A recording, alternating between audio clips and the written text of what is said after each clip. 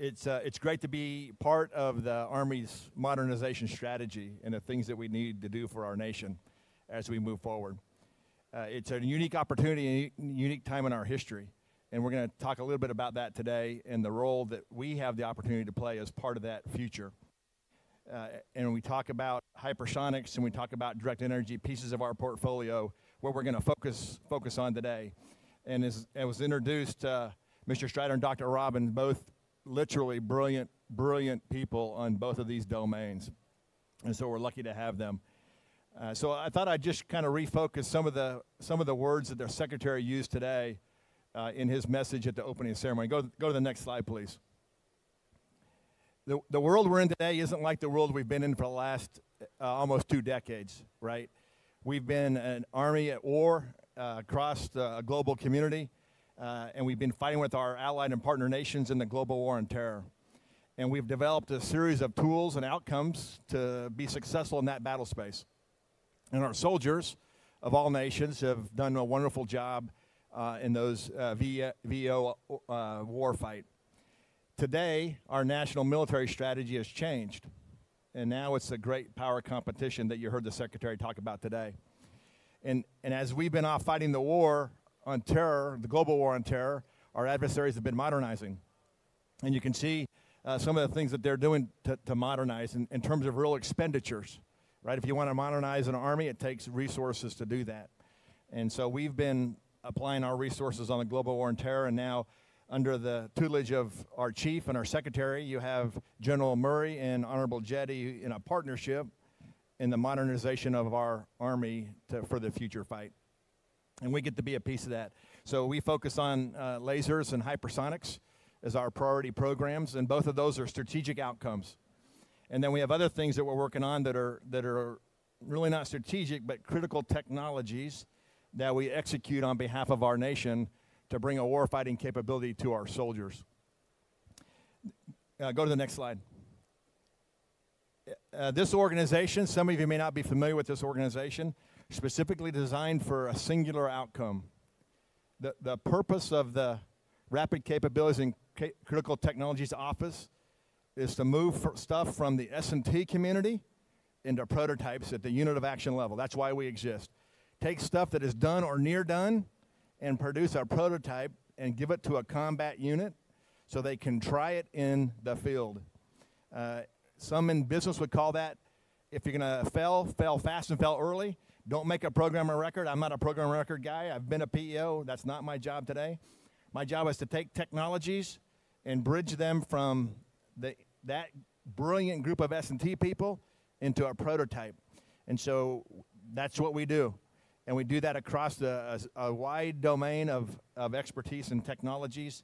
And again, today we're going to focus on, on uh, hypersonics. Uh, we're lucky in this command, uh, this organization, this director is, is headquartered at Redstone Arsenal in Alabama. That's where my flag sits. Uh, we have a group that sits at Fort Belvoir and we have a group that sits at Aberdeen Proving Grounds. And, and you can see that that's designed to span not only the laser and hypersonic technologies, which we, we kind of use and, and develop out of Redstone. We do electronic stuff out of APG. We do weapon systems out of Fort Belvoir. And so there's a whole host of, of things that we do. We, we bridge between the S&T community, Cedric Wins, General Wins was just up here, the CCDCs, the, the S&T communities. Uh, Ms. Christensen has a piece of that at Redstone, a great partner for us at Redstone. And we take that technology and develop it quickly into a warfighting capability. We're not trying to build an army's worth. We're trying to build a set of prototypes for a unit, normally at the platoon and battery, maybe the company level, to try it to see if it works. And this organization is designed for three outcomes, right? Either we tried it and we liked it, let's turn it over to a program executive officer uh, depending on what domain it is. We tried it and it, we didn't like it. Let's get rid of it. Let's don't make any more of these things. Or we tried it, we like it, but it's not quite ready yet. Let's put it back in the oven. Let's put it back to the S&T community and let them continue to mature that technology a little bit further. And so we have we have application across uh, all of those domains. The other thing that we do is we try to reach out to industry uh, in a, this, this event we call Innovation Days right? So we just recently had our first one where we invite, invite companies to come in that have unique technologies. Most of them are small companies, innovative companies, and we let them come in and present in a Shark Tank environment. Literally, we have a panel of experts across the Army from the Army Futures Command, from the S&T communities, from the PEOs, from the TRADOCs, uh, from the FCOEs or the COEs, Centers of Excellence, and we evaluate that technology. And if it's something we think we can use, then we very quickly award a contract. Um, it's really a great event because most of these companies know, have no idea how to work with the government. and uh, they have some really innovative ideas uh, to move forward with. So we're very excited about that. So that's our purpose. That's why we live. That's why we exist, is, is to produce prototype outcomes uh, for, for our soldiers. What's unique about this is, in most cases, there's not a single company that can do this work Uh, and it's not something that's been worked on in the last few days. You know, it, it, what most people don't know is that it's been being worked on since like 1980. But the technology's matured enough. We've proven it out. Uh, how many people know what hypersonics means? So most, yeah, most everybody I recognize is part of the contract team too. That's good. Anything above Mach 5 is considered hypersonic speed. And so the physics and the science behind it is, is very interesting in that you know when you fly through the atmosphere at these kind of speeds, you've got a, a huge amount of heat you've got to deal with and manage. And so we've managed to, to conquer that hurdle and really proved uh, uh, to put a system out there we know that will be capable uh, and, and will bring to bear what we need it to. So what is it we're bringing to bear? So we're going to field an experimental prototype with residual combat capability by 2023. Those words are tattooed on every one of us within the Rapid Capability and Critical Technology Office because we're not a 5000 series, we're not an 804 and 806. If we were, we wouldn't be able to get this done at the pace that we've got to do that. So General Thurgood has set up a structure for us to do this, and as you notice from the Octagon and also from the from the Big Six in the Army that we report to, we could not ask for a, a uh, higher leadership within the Army uh, that, that understand this and understand the importance of it. You'll see General McConville, you know, in the picture here in the middle. He is all behind this. Uh, Secretary McCarthy, all in with this. So we could not ask for better cover for this. What is it we're going to deliver? So by 2023, we're going to deliver a battery. it's going to have four launchers based on an Army uh, tail, an Army trailer that's in inventory today. We've got to develop that tail. Each tail will have a two pack on it. So our basic load and our first battery will be eight missiles. So that all up round uh, that goes into that onto that tail that's in the canister. And one of the key points to this is the Army and the Navy are in absolute commonality with this. So the booster that we'll use to launch it and the front end, the hypersonic glide body that's at the front end, will be absolutely common with the Navy. So there's a lot of economy of scale there. In fact, there's an MOA in place that put the Navy in charge of design and the Army in charge of production. So you'll also notice up here the Battery Operations Center, which is based on AFATDS. So we're, again, we're taking known Army systems and we're using those as the baseline to, to field to. But we'll get this battery out here in 2023 and we'll prove this capability out. We've got a series of tests. We've been testing up to date with OSD as our sponsor. We've proven the technology. Now we want to get it out in the field by 2023. So we've got a, a pretty serious task. As General Thurgood mentioned, we've got all the contracts in place that we need to do.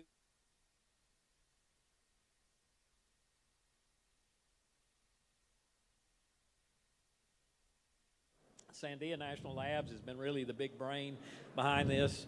But, you know, they're good at one ofs and, and good at the science and technology piece, but we've got to move it out of that, that realm into the production side with industry now. So there's a lot of challenges built into that, but we know we can get it done and we'll get a capability out there. So with that, I look forward to your questions uh, when they come up. I'll turn it over to Dr. Robin, who will talk about something that's a little faster than hypersonics. All right, thanks, Bob. Uh, go ahead and go to the next slide. So a year ago, I was here uh, and talking about, you heard a little bit on the video there, someone say MMHEL and the Unlimited magazine. So I, I was talking about MMHEL and the plan to deliver a 50 kilowatt uh, a laser on a Stryker TRL-7 demo in, in FY21, uh, along with PEO Missile Space and um, uh, uh, the CFT at that time. And I believe at that same AUSA, General Thurgood got the mission to be the director of the RCTO, so fast forward a few months in April, uh, General Thurgood gets a memo from the Secretary of the Army that says all of the directed energy efforts in the Army are going to fall under the RICTO. I was fortunate enough to be sitting on an airplane next to General Thurgood uh, one, one night on the way back from uh, Washington, D.C. to Huntsville and uh, introduced myself, and, and, and I was fortunate enough to join that team. Uh, and, and, the task at hand, the, you know, the direction from the Secretary was uh, transition this technology accelerate it and get it to the warfighter as soon as possible. And, and that was the mission that General Thurgood uh, and, and, I undertook, and it meant going out across industry, going out across uh, the other services, and understanding what the landscape of that technology was, and seeing where we could we could pull it ahead. Uh, and I got three areas to talk about here. The one that used to be called MMHEL is called DEM SHORAD now. Um, and, and so the reality is, is that we're not doing uh, anything much different than we had planned on doing. We're accelerating, and then we are investing more in the out years in order to develop that capability. So where we were developing one 50 kilowatt laser on a Stryker and demoing TRL-7 in 21, what we have now is a competitive environment uh, through an OTA with Kord as our, our prime contractor Northrop Grumman and Raytheon are competing for the laser, laser and beam control subsystems that will end in a demonstration at Fort Sill, the winner of which the Army will evaluate and has the op uh, opportunity to sell three more uh, laser weapon systems for a total of four that will field in a platoon no later than FY22. And as uh, Bob said, residual combat capability, same with directed energy, that's the goal there, to get this into the hands of the warfighter. So there's two other efforts here to talk about, right? One is uh, high energy laser indirect fire protection. So we had another effort called uh, high energy laser tactical vehicle demonstrator. That was a TRL-6 demo in FY22. So uh, again, we took that on us. We looked at what was out there in industry, what was in the government. What we found was the uh, Office of Secretary of Defense had a high energy laser scaling initiative where they were pushing laser power a little bit farther, a little bit higher, right? Giving us the ability to reach out a little bit farther to engage threats and, and, and, and kill them a little bit faster, uh, more capability for the soldier, more capability for, for our Army. And so we took that on ourselves as a planning task in the out years to do that demonstration and then build four additional prototypes and field those in FY24. Uh, well, we also noticed, not looking within the Army, but when we went out and visited the Air Force, for example, uh, is, you know, lasers are great serial killers, right? They look at a thing, and, and speed of light, right? We talk about speed of light effects. The, the threat gets, or the, the, the effect gets there at the speed of light, but it takes a little bit of time to kill the thing that you're, that you're trying to kill. So high power microwaves is a different directed energy technology that engages more threats than one, right? And it's, it's particularly uh, useful for, for counter UAS threats. Uh, so, so when we visited the Air Force Research Laboratory in Albuquerque, New Mexico, we found that they had spent a lot of money, a lot of time investing S&T dollars in high-power microwaves. There's no need for the Army to reinvent the wheel. Just like at OSD, there's no need for us to all be in, investing in the same effort.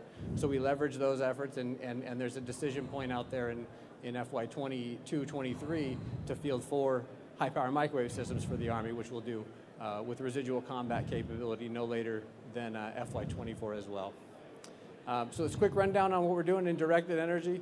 Uh, unlike hypersonics, who's obviously the number one strategic priority, we're number two, but we do have a, a, a host of efforts that we're working uh, and trying to push that technology out to the soldier. So with that, I think I'll end and look forward to your questions. Okay. All right, great. Thanks. So you can see that it's uh, pretty exciting. Uh, when I had this job, I had a full whole head of hair, but hypersonics is so fast it just wiped it right off my head. So uh, it's happening really quick, and uh, we're in a great place to have lots of support. Uh, I want to also introduce uh, two folks that are standing right back here. Raise your hand. So Marcia Holmes and Stan Darber are our deputies, or my, my deputies. Uh, Stan's here at Fort Belvoir, and Marcia Holmes is our deputy at Redstone. So we're really glad to have them as part of our team. it was no kidding when I when I sat next to Dr. Robbins. I said, "Tomorrow you start working for me."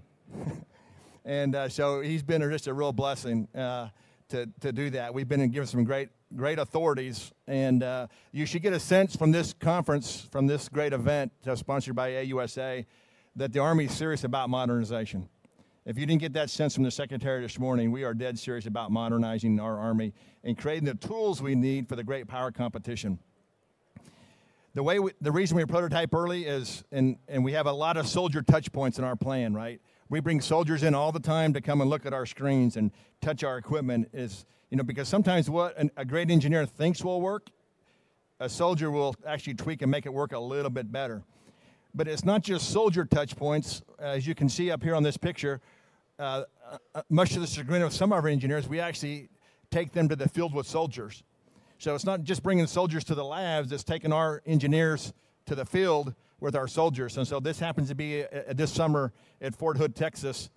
Uh, uh, Lieutenant Colonel Tom Petrini, the battalion commander, allowed us to come out to his unit that was deployed in the field. We took our engineers out there and, and let them watch, in this case, it had to be a Patriot and a THAAD unit, how they operate. What's the BOC do? How does the launcher work? And so that our engineers, as they're designing this so quickly, we, we can avoid mistakes in the lab that we then have to come back through the soldier touch point. So it's not just getting soldiers on the equipment, it's getting engineers to where the soldiers are so this, the engineers can sense and feel and smell the battle space that this piece of equipment is going to be, be working in. So I'll pause right there uh, uh, and ask you two to come back up here and see if there's any questions that we can help anybody with. Yes. Wait, hold, on for a microphone, or somebody will probably yell at me. Larry Wortzel, given the three technologies that you've presented, how effective would they be against an incoming hypersonic glide vehicle or hypersonic cruise missile? Yeah, so so everything that Dr. Robbins on, working on is an offensive hypersonic weapon system. Uh, the Missile Defense Agency, where I came from prior to this job, has a defensive mission. And so uh, Bob mentioned that the Common Hypersonic Glide Body is common on the Air Force Hacksaw program, the Army program, and the Navy program. It's also common with the defense program. So MDA, under a dear friend of mine, Vice Admiral Hill, has the responsibility for the defensive mission, and, and, and uh, we, we coordinate that across uh, at the OSD level with Mr. Mike White. There's actually a three-star board of directors under hypersonic specifically for that outcome. Uh, and the MOA that Bob talked about is, it governs that piece.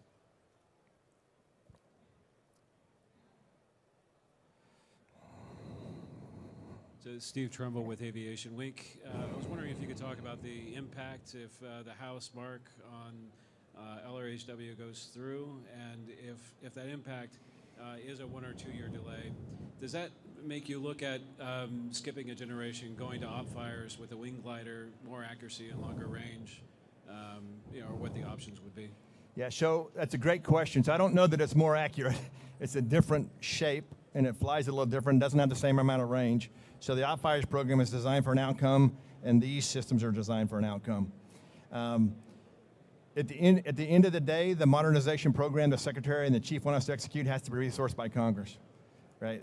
What we do is guided by their resources. So we present those resource applications to Congress, and then Congress has to determine if they're going to resource that through the appropriations. If they don't, then we have to relook the course of action and the strategy. And so I can't tell you today if, if I get 50 million less here, what does that mean, right? What we do is we start turning knobs and dials and, and try to produce as much as the outcome we can on the timeline we need it. Right, right now in hypersonics, whether it's, uh, whether it's this, the conventional prompt strike program at OSD, which is the land component, Navy, sea component, or it's DARPA doing some DARPA work, there's lots of support for hypersonics, but we'll see how that plays out, uh, what Congress decides to do.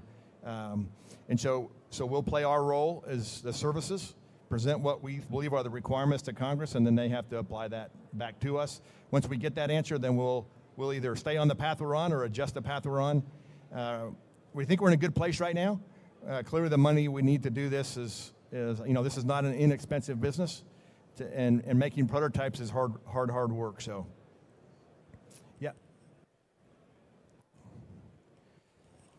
Uh, Good afternoon, Jason Sherman from Inside Defense. Bob, I wonder if you could tell us about, uh, describe the program going forward. What are the, the, the key milestones uh, that your office has to oversee between now and delivering that first battery of LRHW? So you saying the Stryker program? Uh, no, the hypersonic weapon program. So, so where are we going with that? What are the key milestones between now and? So the key delivery? milestones right now are just, we, we understand the technology, we know what we're gonna produce. Uh, we wanna make it better as we go, uh, but, you know, for the path we're on right now, the key milestone will be fielding in twenty-three. And we've got to get, make sure that we've got the resources available to be able to meet that date. Uh, so, you know, a key milestone. The key things are, yeah, the key effects will be like the, the tail I mentioned. We have to do that design and development, which is not going to be very hard. It, we know how to erect missiles. You know, it's a matter of putting on an existing Army trailer that we already have in inventory. We've got a heavy mover that we'll move it around with. We, the canister development that's got to be done. Uh, the Navy is taking a little different launch approach than the Army, so the canister will be a little different from that, but the all up around itself, the booster and the, the glide body that'll be the front end will be exactly the same. So that canister development's got to be done, and then it's got to be integrated onto the, uh, onto the tail itself. But also the command and control piece of this, you know, that'll be based on an Army system AFATDS. You know, we've got to get those hooks all built into that so that message is coming down from a very high echelon for this type weapon system will be put in place to receive that, process it, and upload it into the missile so it'll do as designed. So right now we're planning for six. Uh, so we're, we've got a pretty aggressive flight schedule. In the past, we've done a test every two, two and a half years, uh, just because that was the pace of, of maturing the technology. But we've got a, an aggressive test schedule that will actually take this to prove out what we want to field, and then we'll actually hand it over to the soldiers that will field it uh, for at least two events, so that they will actually go all the way from deployment all the way through uh, setting up, receiving the message, and going through the launch sequence and, and hitting and impacting the target you're aiming at.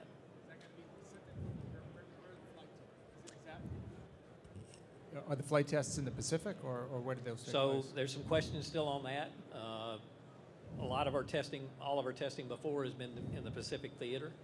Uh, so we, we, we have a known uh, test structure there, and the testing, you know, because of monitoring for the flights, the range safety that has to be done, we, that's a well-known asset that we, we take full advantage of. Uh, so we will look at other ranges as we go. Uh, I know the Navy's looking at some East Coast capability. We'll be looking across the board to see what makes the most sense for the scenario that we're trying to exercise. And are you dual-hatted? You're acting as an executive agent for the other services and some on, on the glide body glide body part of the program, and then uh, can you describe a little bit about uh, how you how you work the, that division of labor? In your So, office?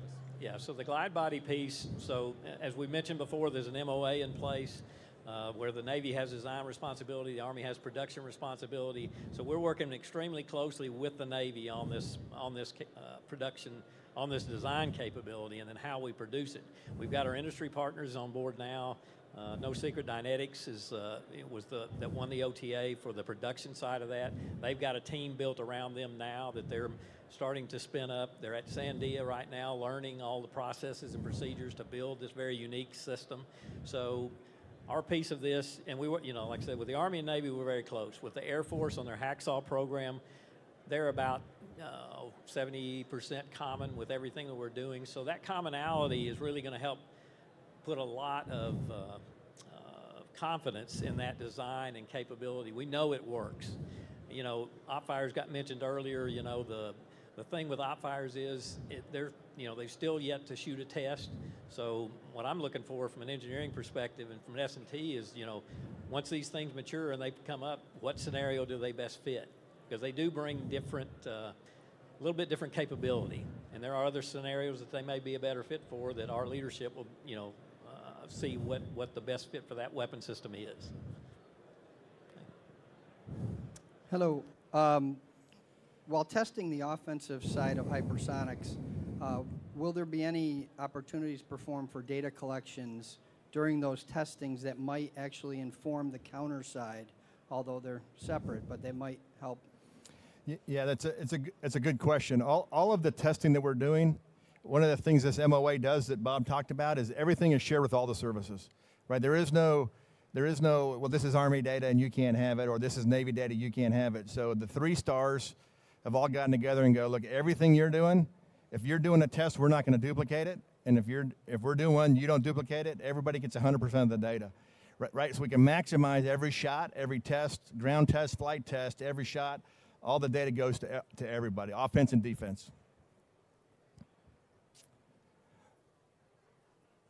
Okay, listen, uh, let, let me just close with uh, just a couple of thoughts. Uh, so, first of all, uh, we really appreciate the great work that has come out of the S&T community, which has set the conditions for all of this to happen, right?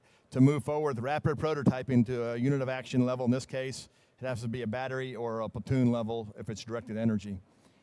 Uh, It, it is time for us in our modernization strategy in support of the Secretary and the Chief and our Army and our nation uh, to move forward as rapidly as we can. To industry's credit, they have, they have put a lot of of intellectual and resources into this outcome. Uh, and they've come together in a collaborative manner. We have a, in hypersonics, we have a common set of metrics across six companies. I mean, think about how unusual that is. Uh, six companies come together, share their data with each other about are they on schedule, off schedule, what, what is their role? Are they so we don't get to the point in three years where we go, oh, we thought you were doing that. When, you know that would be a negative outcome in my world. And so, uh, to industry's credit, uh, when you're out talking to them about it, they've really, really done well. Um, we're relying on Congress to resource the outcome that the Army wants, and, and with whatever resources they're provided, we'll move forward with that.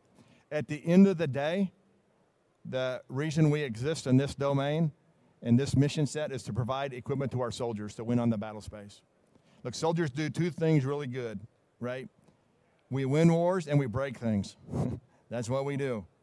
We need great material people in the S&T world, great industry partners to make equipment, to give to our soldiers to be successful on the battle space. And so that's why we exist to provide them that early look at the technology, to see if it is what we want it to be, to see if it produces the outcome on the battle space we want it to produce. And if it is, then we transfer that to a program of record and a PEO structure for them to be successful. So thanks for what you're doing here today. Thanks for your interest in what we're doing across these domains. And uh, God bless you for what you're doing and bless our soldiers who are out there doing really hard jobs. Thanks.